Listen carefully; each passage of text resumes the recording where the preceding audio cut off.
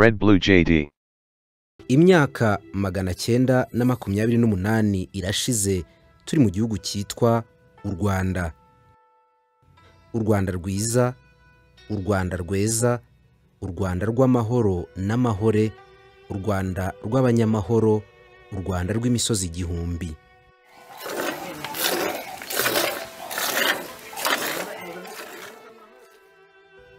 u rwanda mubona amagingo aya rugabanyijemo uturere mirongo itatu twicaye mu ntara enye n'umujyi wa kigali. Nubwo kizira kubara abanyarwanda niseguye ku bakuru kuko ngiye kubikora.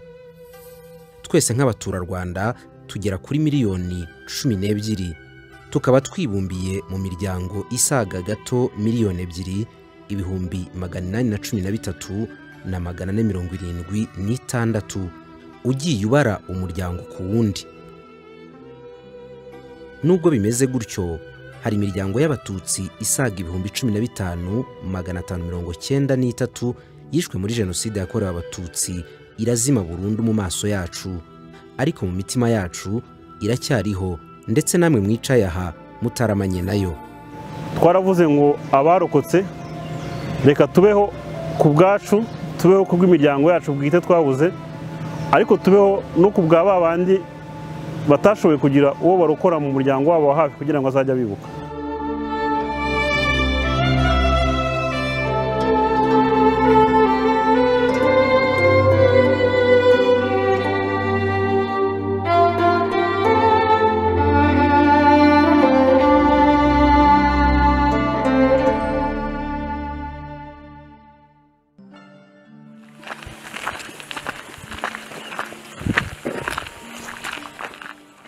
Kuva mu mwaka w'ibihumbi bibiri n'icyenda kugera uyu munsi umuryango w'abarokotse jenoside yakorewe abatutsi barangije amashuri makuru na kaminuza witwa jrg mu magambo ahinnye y'igifaransa. Wakoze ubushakashatsi babarura imiryango yishwe ikazima muri jenoside yakorewe abatutsi mu rwanda mu w'igihumbi magana cyenda mirongo cyenda na kane. Isanga abagabo abagore n'abana barenga ibihumbi mirongo itandatu n'umunani magana inani mirongo irindwi n'umwe. Bo mu miryango ibihumbi cumi na bitanu magana atanu mirongo cyenda na batatu yararimbuwe burundu ntihasigara n'uwo kubara inkuru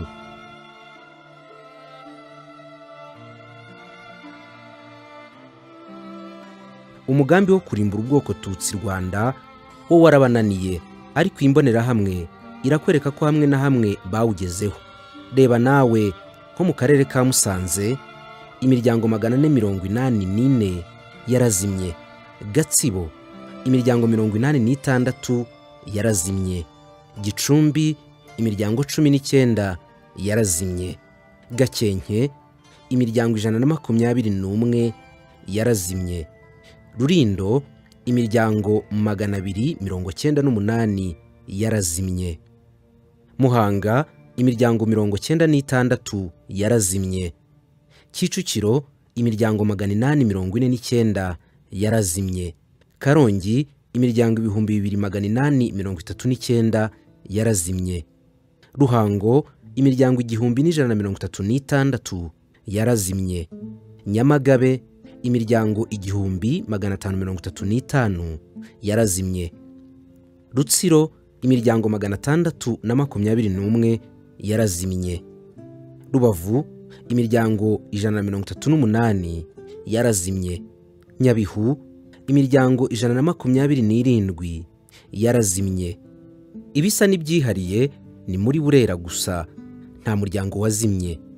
Ngoma imiryango magana arindwi n'ine yarazimye. Kirehe imiryango magana abiri mirongo ine n'itanu yarazimye. Kamonyi imiryango magana ane n'icyenda yarazimye. Nyarugenge imiryango magana atatu mirongo itandatu n'irindwi yarazimye. Gasabo imiryango magana inani na cumi n'itanu yarazimye.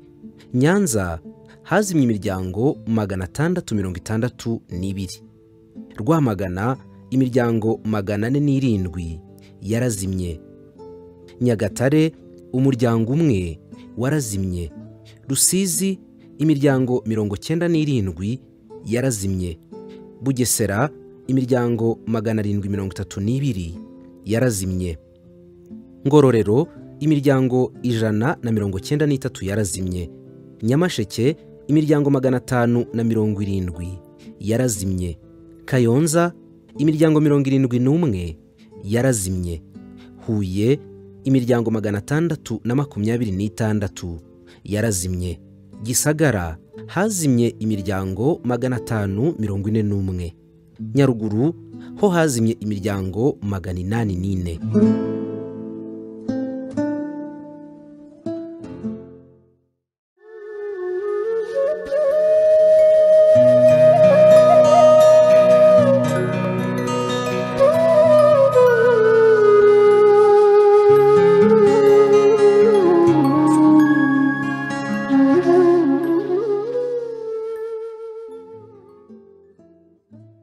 Umuryango jiarije ukimara kubona iyi mibare wumvise hari indi nshingano ukwiye gukora. Tugiye gushyiraho uburyo bw'ikoranabuhanga. Tuzashyiramo ayo mazina y'iyo miryango ariko noneho n'abantu bose bazakomeza kutugezaho amakuru tugakomeza tuyongeramo n'ubundi bushakashatsi tuzakora butandukanye bukazashingira kuri iyo mibare dufite no kureba ko koko nta mazina twibagiwe kugira ngo igihe tuvuga ngo ntibazazime twararokotse tujye tubibuka tuzi imiryango iyo ariyo tuzi amazina yabo tuzi ibigwi byabo abanyarwanda baca umugani ngo ujya gukira indwara arayirata. Mu nyemerere mbasubize inyuma mu mateka y'u rwanda twereke abato cyane cyane ukuntu urwango rwica abantu n'ubumuntu. Gitera ni inyandiko ze? Ni inyandiko yise ngo umunsi mukuru w'ibohorwa ry'abahutu ku ngoyi y'abatutsi mu rwanda. Isohoka mu kinyamakuru yitaga ijwi rya rubanda rugufi cyari ikinyamakuru cya porosoma muri mirongo itanu n'icyenda mu kwezi kwa cumi na kumwe. Dore bimwe mu byo avuga. Bimwe mu byo avuga. Batutsi bagatutsi. Mwarishe mwarasahuye mwarabambye mwatanze imiranzi y'abahutu muri ibirura ni mugende rwiza. Batutsi bagatutsi. Mwarahotoye. Wumva arabitirira ko bishe kandi nta byabaye. Mwarahotoye mwaranize mwarakandagiye mwicariye abahutu. Muri ababisha ni mugende rwiza. Batutsi bagatutsi kuva ubu duciye ukwacu ni muco ukwanyu. Ntituvanze turavanguye. Ni mwigenge twigenge bagatutsi mwe ni mugende rwiza. Ubwo iki? Yaba arimbuye. Mu gihumbi kimwe magana cyenda mirongo irindwi na kabiri hari korali y'abadivantisite b'umunsi wa karindwi y'igitwe yaririmbye geregori kayibanda ko ari w'imana yatumye ngo aze ashinge parimehutu ngo abashe gukura abana bayo abahutu mu buja abantu bibuka iyo ndirimbo geregori kayibanda we ni wowe imana yatumye kayibanda genda uvumbure pariti maze umurire abana banjye mu buja. Kuri noheli mirongo itanu n'icyenda irahira bube ku itariki makumyabiri n'enye z'ukwa cumi na kabiri. Mirongo itanu n'icyenda gitera zo indi nyandiko. Yo wenda abantu batazi cyane. Muri ka kanyamakuru ke ijwi rya rubanda rugufi dore bimwe mu byo yavuze yishimira nyine ko kwica byatangiye. Nako byari bimaze iminsi birangiye byo muri mirongo itanu n'icyenda. Ati bagufi mwese ndabaramutsa. Areruya aporosoma ishyaka ry'abahutu turatsinze. Areruya umugome ari ku mugozi. Umugomoke ari ku ngoma. Bagufi mwese. Areruya bagufi mwese cyane cyane mwebwe abahutu ni muke dufatane urunana duhuze inama n'imana dusobeke imihigo isaha yacu irageze. Ishyaka ry'abagufi aporosoma n'ishyaka ry'abahutu parimehutu turatsinze. Yemwe bahu ntihasingizwe imana mu ngururema kuko yibutse ingabo ze abahutu n'abagufi. Uwanyu bakunda joseph habyarimana gitera.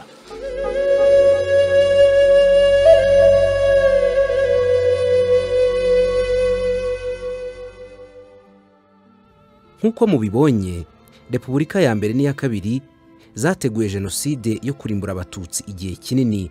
Bayitegura neza bategura abazayikora baratozwa. Bambarira kwica abatutsi abasaga miliyoni barahagwa.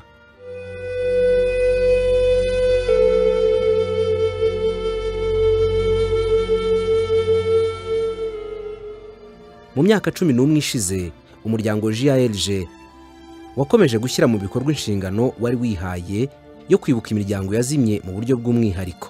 Maze ifata kamera yerekeza mu matongo y'aho iyi miryango yazimye yari ituye maze iganira n'abazi amateka yayo kugira ngo imenye byinshi byabarangaga nk'amazina yabo umubare w'abari bagize umuryango aho bari batuye indangagaciro zabo uko bari babayeho uko bishwe aho biciwe n'aho bashyinguwe.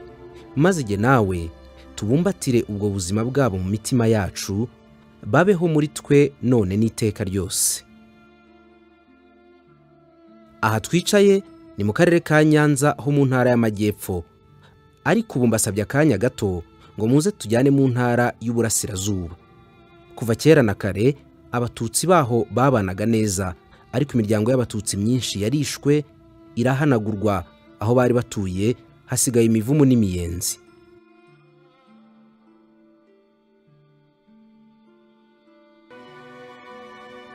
Imiryango imwe yazimye harimo umuryango wo kwa nyerere. Yari warazimye burundu. Aha ureba nyagasamba aha hose ureba.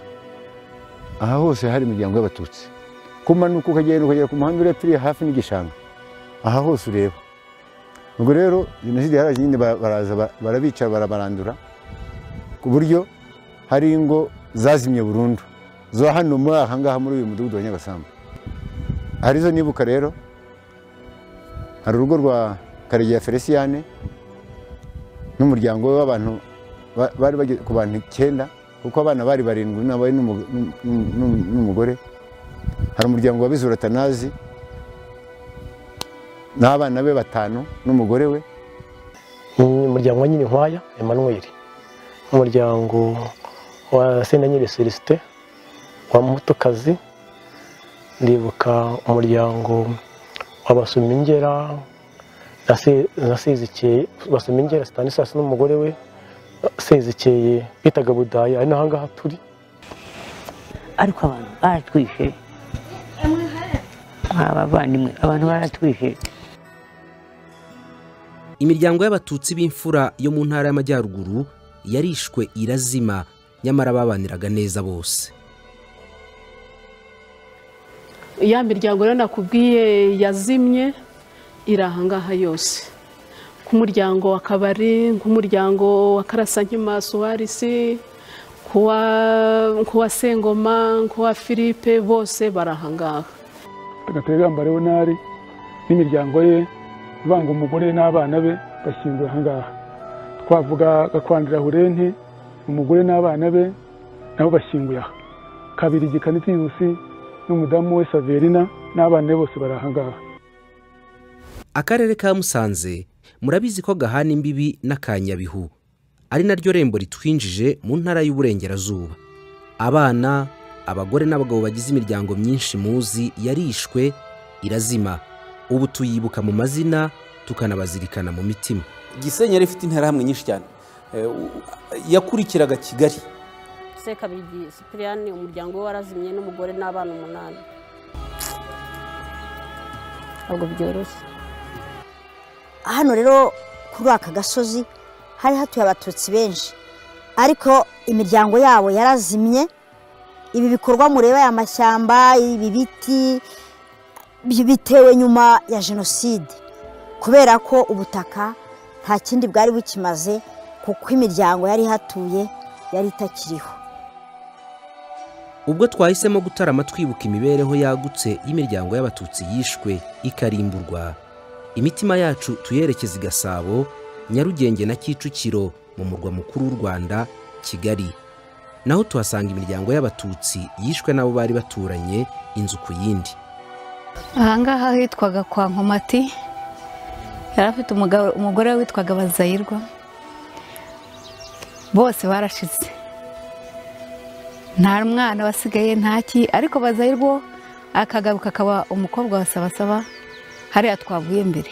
Bari batuye ahangaha hano hari kwa kwa muku- kwa murumuna we naho witwaga mureganshuro n'umugore w'umugaga. bose barashize n'abana bose nta muntu urabona uko hangana nta muntu wasigaye.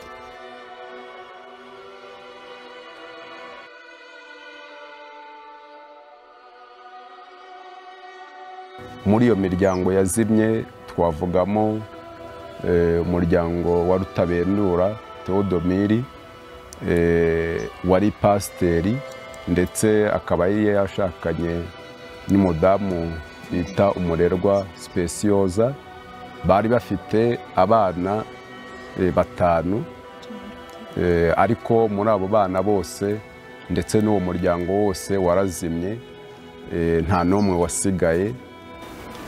Hari benshi hari umusaza witwa aminadabu munyebinja wari ufite imiryango ye iyo twababaruye yari afite umuryango umukomokaho abantu mirongo itatu na batandatu. We n'abakwe be n'abuzukuru be n'umugore we n'umugore we nawe yapfanye n'uwitwa uraye neza kuri izo tariki umunani nababwiye haruguru.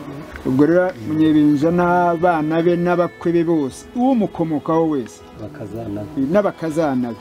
Nta muntu wasigaye muri uwo muryango. Bagamba iki ndamuzi? Ndetse n'umudamu we ko yakoraga ku ivuriro rya hafi y'aho twari dutuye kandi ni umuryango nagendagamo haba kwa bagambiki cyangwa kwa se umubyara. Ni umuntu wavukaga mu rugo rw'abakirisito se yari umupasiteri. Umudamu we bari babanye neza. N'abana babo bari bafite uburere bafite ikinyabupfura bakunda abantu. Utwana nibuka ni tubiri ariko hari abana bane. Hari abakobwa batatu ba mariya hari n'undi muhungu wa kane wabagamba iki ese urumva ko ari abamariya niyo yarabareraga barabanaga. Noneho rero ubwo hari dudu hari na gatarina ni we nibuka undi ntabwo nkibuka izina rye n'ako gahungu ntabwo nzi izina rye sinkibuka. Karahabaga nawe.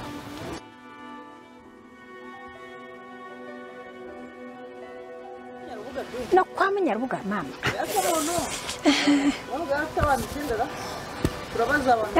No kwa munyarubuga mana we na teresa we. Nta n'umwana n'umwe wasigaye. Hari umwana kamera ya JLG yakomeje gutembera yitsa igeze i Nyanza aha turi. Ukurikije amateka y'u Rwanda imibanire myiza y'abari batuye aka gace biragoye ko ubwenge bwa muntu ushyikira ukuntu ikintu kibi cyasimbuye icyiza. Nyanza ari umurwa w'umwami aho abantu b'ubwoko bwose bateraniraga. Umwami musinga bamuca yari i nyanza. Ariko kimwe mu bintu byamuranze ni uko yashakaga gukomeza ubunyarwanda akanga n'ikintu cyatandukanyaga amoko. Bajya gushyiraho ariya mabuku arimo abahutu abatwa n'abatutsi ari mu bintu babirwanyije. Hari ikintu kijyanye no kwimika umuco w'ubutwari n'indangagaciro? Ko ikintu kindi umuntu yanavuga gikomeye ni uko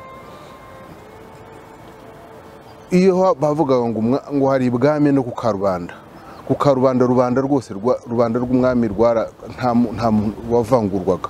Yaba ari umuhutu yaba ari umutwa yaba ari umututsi cyane ko atari n'amoko byari ibyiciro by'ubuzima i- m- i Nyanza bibonaga ari ahabo aha i Nyanza kimwe n'ahandi abigishaga ko abatutsi ari abagome bagiye babihererekanya no mu rubyaro rwabo. Ushaje akabiraga ababyaye birahama. Ari na byo byatumye imiryango isaga magana atandatu mirongo itandatu n'ibiri. Irimo abatutsi ibihumbi bibiri magana inani mirongo irindwi n'umwe baha i Nyanza duteraniye bazima burundu.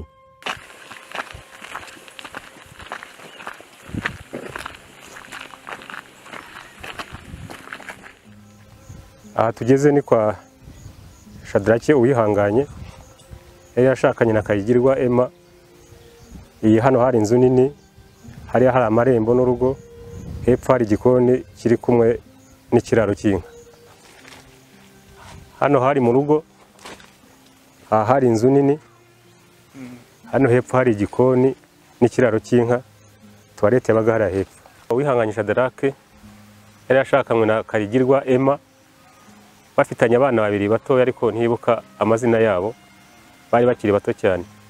Bagiraga inka cyo nibuka nuko yakoraga mu kigo cya HPP Gatagara ariko umudamu ari- ari umuhinzi aba ku rugo ahangaha yari umudivantiste hazaga korale ziririmba zo mu badivantiste habaga hari abaririmbyi iruhande rw'umukobwa n'abaririmbyi bo ku gipande cy'umugabo. Bari abakirisitu cyane b'abadivantiste. Umuryango wose wose wose ushyinguye mu rwibutso i gatagara. Ikintu nibuka ni uko twarasobanagura urabona ko hari ingo zegeranye icyo nibuka ni uko mu bukwe bwe niyo nari kumwamarira ndwara malariya. Mfatwa nijoro turi mu muhuro ashaka undi muntu umwambarira mwumva ko bitari byoroshye kugira ngo ushake undi muntu ukwambara ukamushaka mu ijoro rimwe.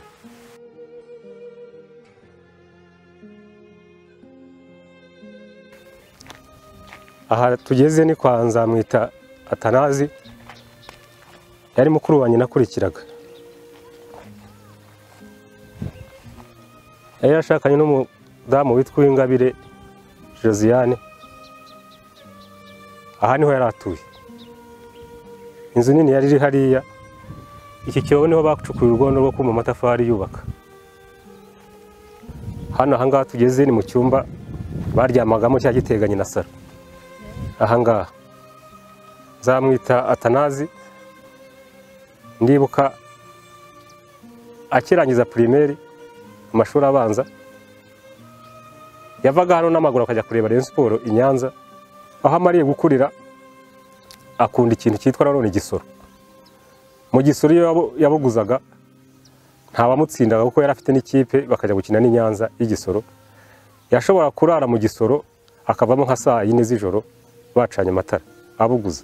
Nzamwita atanazi ajya gushaka yarambagije hano ku mukingo yitwaga uwingabire josiane ku kazina kitwa roda agashya kabaye ni uko ashyingirwa bamaze icyumweru bahita babyara. Urupfu wapfuye nzamwita atanazi we bamushyize ukwe kuko basanze abandi bamaze kubica bamushyira imbere yo kwa mukuru wanjye baramwica barenzeho itaka. Icyo bakoze ni uko babanje guhamagara umugore we na mushiki wanjye bakaza bakabanza kumusengera. Umwana we bamutaye muri tuwarete bamuheka ahetswe na mushiki wanjye. Umugore we w'ingabire josiane yahungiye kwa muramu we rusangana waropeje ni we wamwiciye na mukuru we.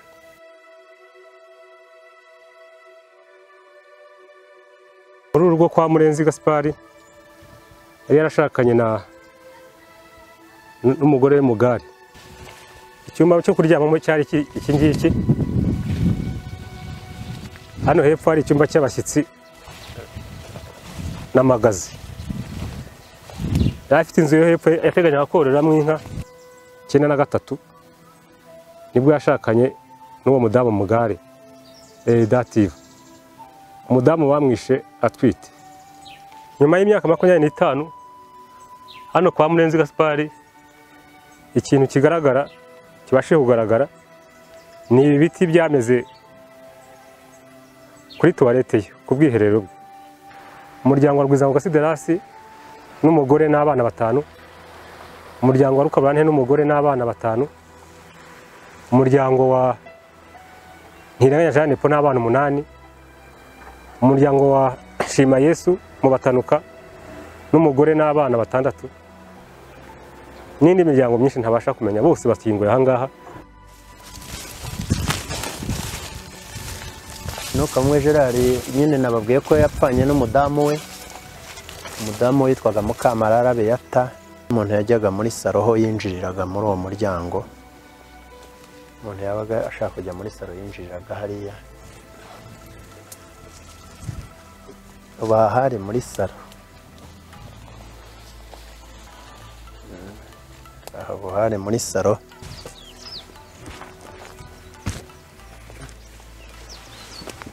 undi nukamwe gerard nyine nababwiye ko yapfanye n'umudamu we. Umudamu witwaga mukamarara beyata bari umuryango wabo wari abajiji jenoside ijya kuba yari afite abana batatu b'abahungu. Umudamu we yari atwite inda nkuru bamwicanye n'iyo nda rwose yaburaga hari nk'ibyumweru bibiri hari ngo abyare. Umwana mukuru yitwaga Manishimwe uwa kabiri yitwaga semugeshi uwa gatatu yitwaga kayinamura wari inshuke.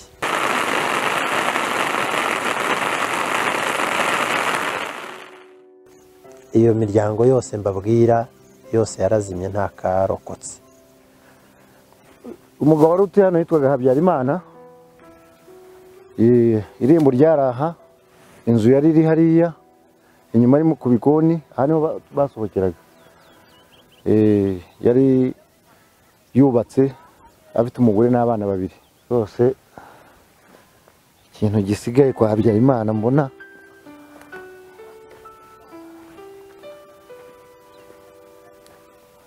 Eh, ni aka kavumu n'uyu mu- n'uyu muyenzi.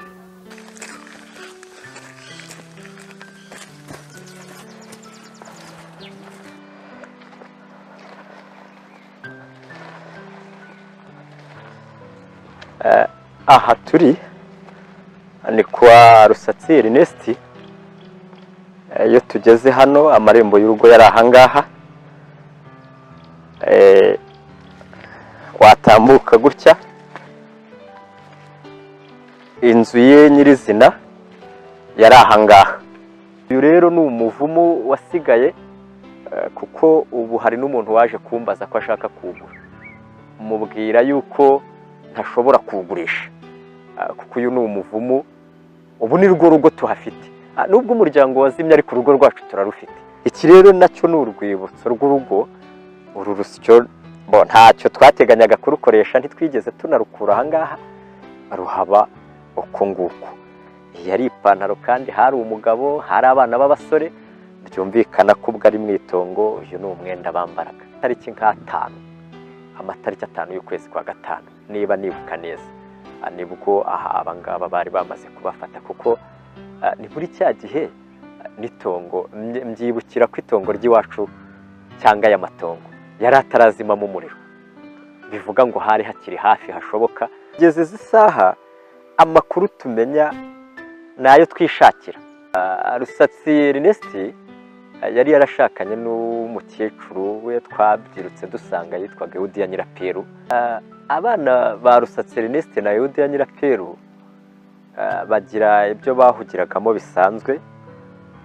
Ah, bahugiraga ku ishuri nk'abandi bana basanzwe.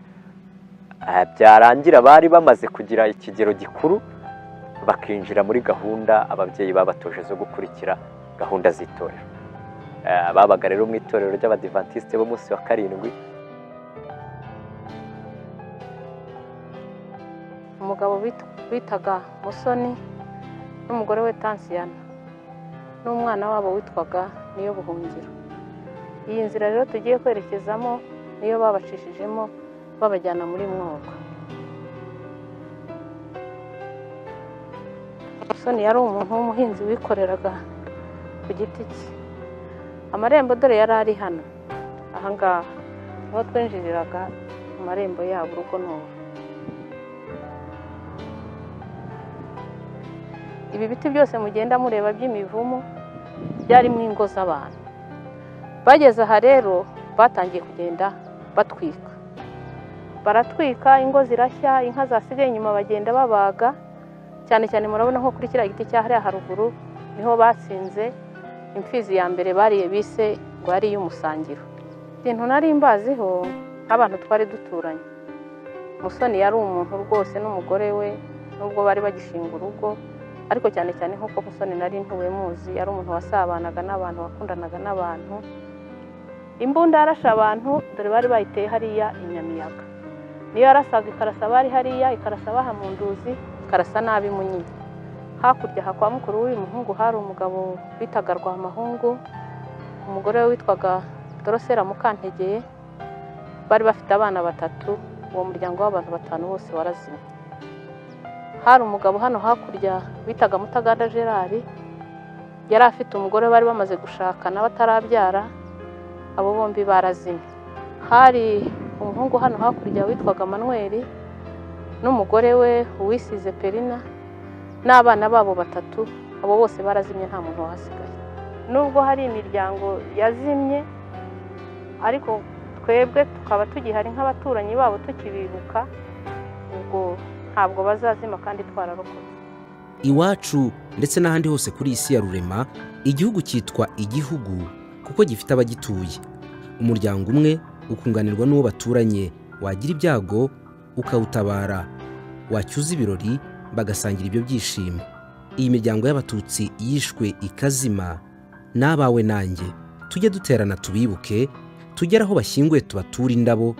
Nibwo buryo rukumbi bwo kubahesha agaciro maze n'abato tubyara bakure banga inabi bimika ineza. Nibyo koko muriho muri twe kandi muzahoraho. Ntibazazime twararokotse ni uguhagarara mu cyimbo cyabo tukabibuka ni nawo mwenda dufite. Muzazima nararokotse. Muriho kuko ndiho. Ntimuzazima twararokotse. Ineza yanyu itubamo aho turi hose turayigendana. Ntukazime nararokotse nubwo byagenze bityo nubwo izo ngo zazimye ntihasigaremo n'umwe ariko navuga ngo turiho turabibuka. Mm, twe turiho turabibuka.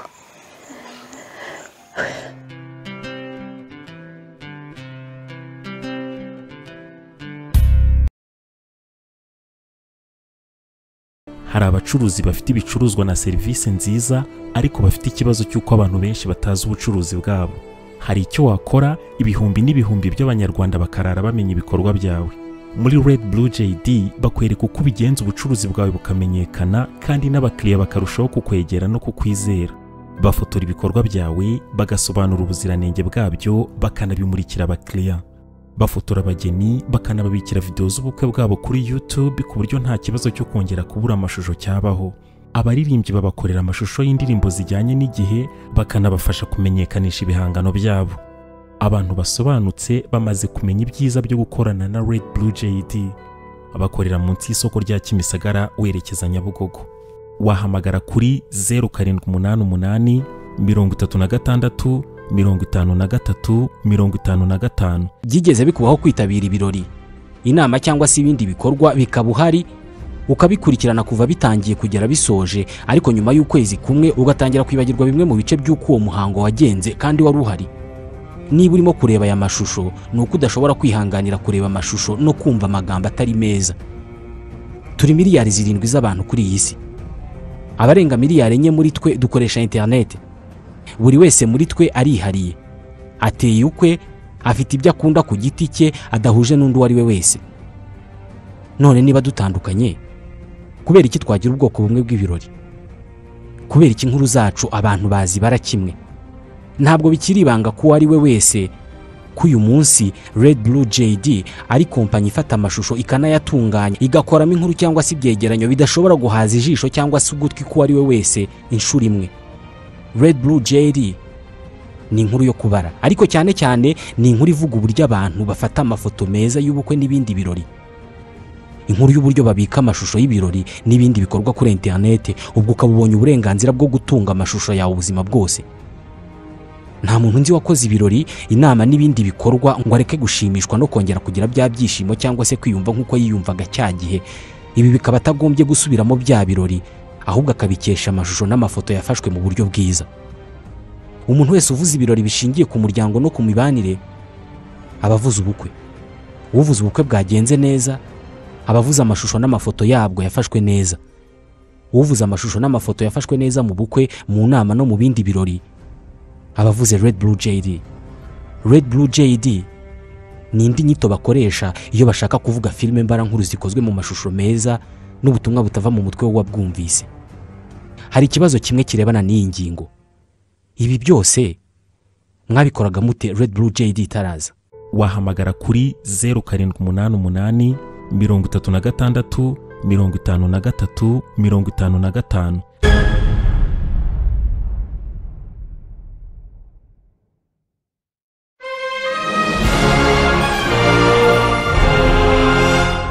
Red Blue JD.